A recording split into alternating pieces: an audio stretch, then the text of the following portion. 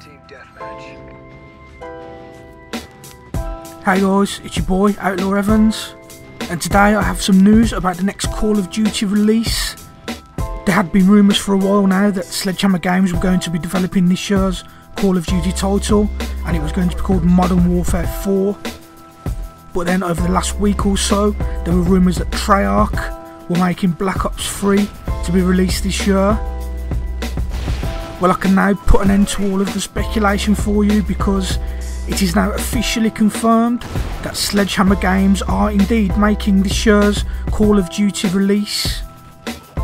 This news was confirmed by Activision last night, and then shortly after, Sledgehammer Games confirmed it themselves. Activision CEO Eric Hirshberg announced that Activision is moving into a three year development cycle for Call of Duty to allow the developers more time to deliver the best game possible.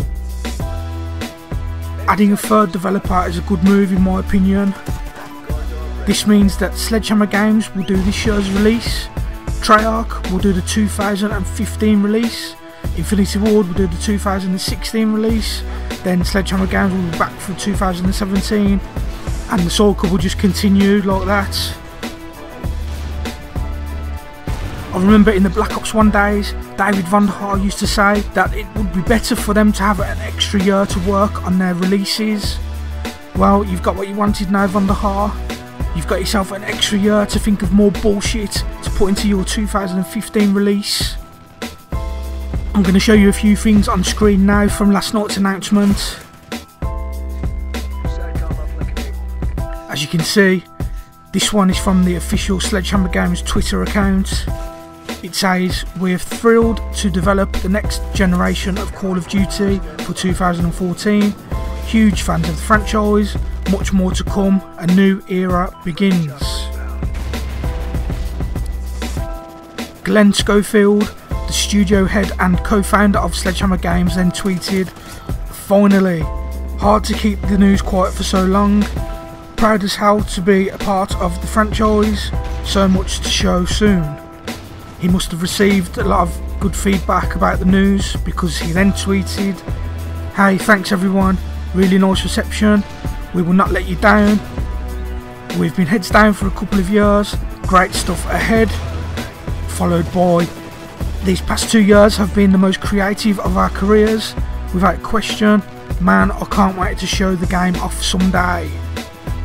In one of those tweets, he added a link to a blog post on their Sledgehammer Games website. I'll put the link in the description of this video if you want to take a look for yourselves. I'll read it out to you now though. The blog post says, Five years ago, we started on the most exciting journey of our careers.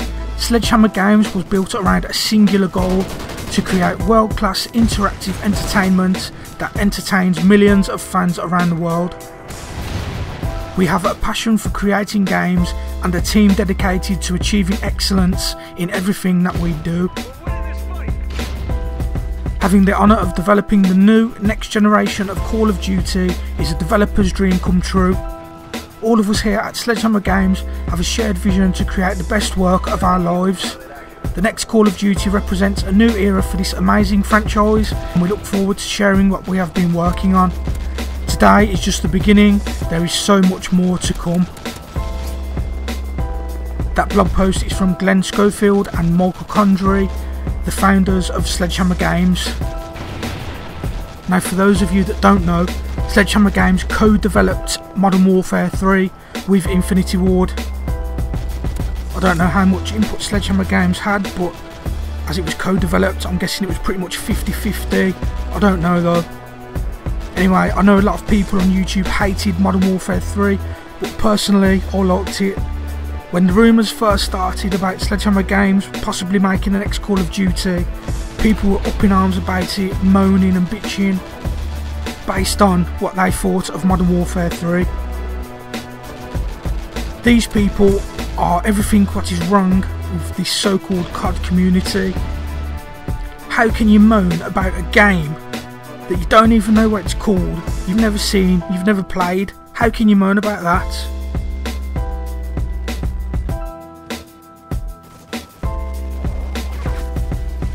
From my own personal standpoint, I would like to welcome Sledgehammer Games and say that I can't wait to see it and play it. Good luck, guys. That's about it for today, then. As always, thanks for watching, thanks for listening. Till next time, I've been Outlaw Evans. Peace.